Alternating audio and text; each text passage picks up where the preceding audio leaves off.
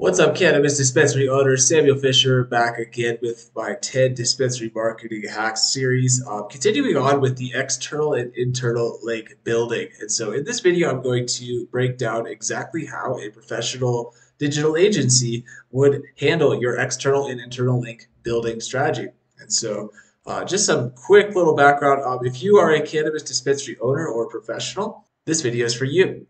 If you don't understand or backlinks or need a little bit of help, some new ideas, this video is also for you. If you're not getting some rankings for your target keywords and you want to improve your sales, this video is for you. Kind of sound like a broken record, don't I? Jeez. Okay. Anyways, um, if you don't know me, uh, my name is Samuel Fisher, the founder of Green Dispensary Marketing. I have a ton of experience in this niche, uh, ranking internationally for high volume terms. And so um, I'm actually going to break down this best THC carts one a little bit later, I want to show you how I got that number one ranking, um, specifically how I got backlinks for that article to get that number one ranking.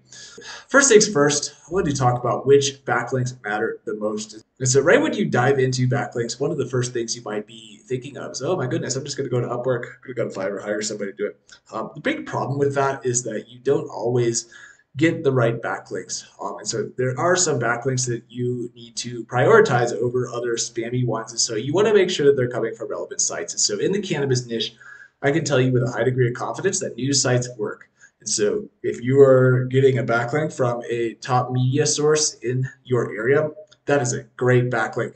Um, you want to make sure that there's a high domain authority, that it's not just some brand new website or that it's just some website made solely for the purpose of backlinking um, because you want the site to have some authority in your niche. Ideally, um, this is a way to ensure that the backlink uh, boosts your rankings and has the desired effect on your rankings. And then finally, uh, you want to make sure the site is trusted by Google and readers. Um, a good way to check that is just to scan the site using a tool like Ahrefs and Moz. Um, get a look at the spam score, uh, make sure the site isn't spammy and that they have some organic ranks. And so if you are connecting all these dots together, uh, you're going to start to be able to improve your backlinking strategy. And so the types of backlinks that you want to get in this niche include a very small list of backlinks. And so, um, so what I've seen work in this niche are Haro backlinks. If you don't know what that is, uh, Google Haro, help a reporter out, uh, get on the platform, sign up with your corporate email account, and start responding to those reporter requests. RSS feeds which are basically just websites that will post your blogs, syndicate them on another website, just a free backlink. Next, guest posting, reaching out to websites with high domain authorities and posting an article that backlink to your site. Uh, creating business profiles, uh, your citations, we talked about that in other videos. And then finally, you want to make sure that you're not getting spammy outsourced links uh, if you're going to Fiverr, they're promising you 10,000 links. I guarantee you those are probably spammy.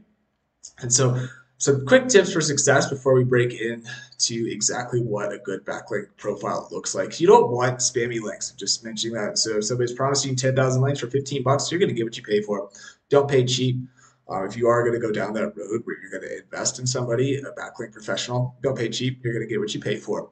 Uh, next up, you want to make sure the anchor text is right. You want to make sure that it's hitting the keyword that you want to rank for, a similar variant, or the site URL. Those are very standard ways to have your backlinks done. Next, you want to make sure that they get listed. Um, and so if you use a platform such as Ahrefs, Moz, or SEMrush, they will tell you when your backlinks are live.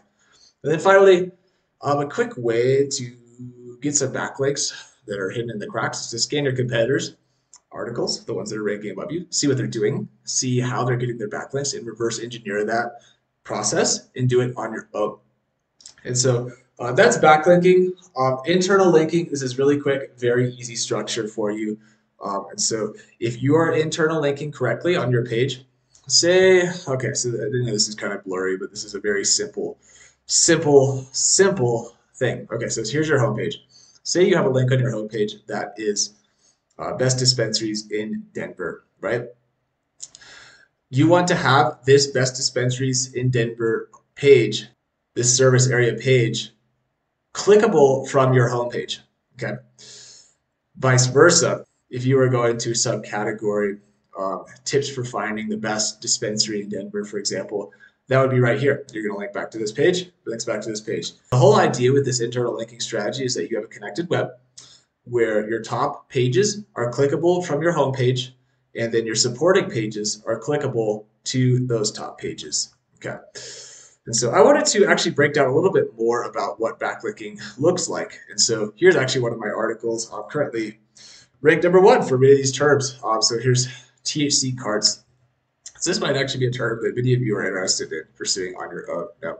And so what you can do is if you're using a tool like Moz, you can go here, scan this article.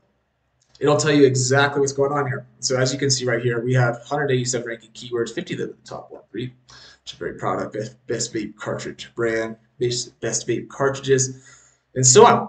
And so these are getting some traffic. This page is doing really well. Um, one thing I wanted to break down is how you can look, you can scan an article. And so say that this is an article that you want to beat. Say you're mad that I'm beating you right now. Um, you can just go right straight to a platform such as Moz Ahrefs, scan it.